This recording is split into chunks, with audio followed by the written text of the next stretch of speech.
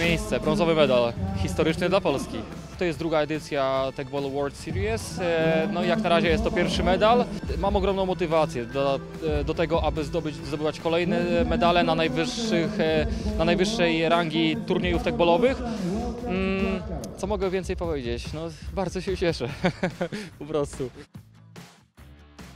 Kibiców jest cała masa, cały czas przychodzą nowi, niektórzy wychodzą w trakcie, ale zaraz przychodzą nowi, trybuny są cały czas pełne. Zresztą też dostaliśmy feedback z Eurosportu, że znakomite miejsce, że piękny widok w tle, kamienice, mnóstwo ludzi, także podoba się nie tylko nam w Polsce, ale w 80 krajach ludzie podziwiają teraz mały rynek i tekbola.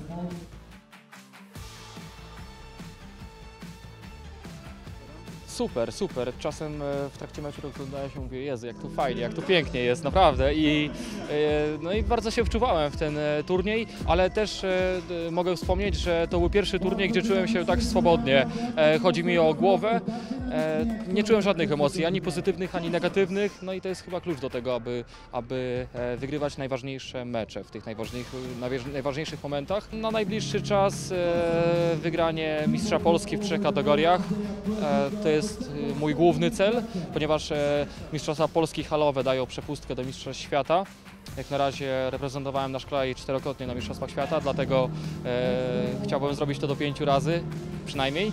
E, Następnie pierwszy przystanek kwalifikacyjny Igrzysk Europejskich w Budapeszcie, a na koniec Mistrzostwa Świata w Norymberdze, ale najpierw Mistrzostwa Polski.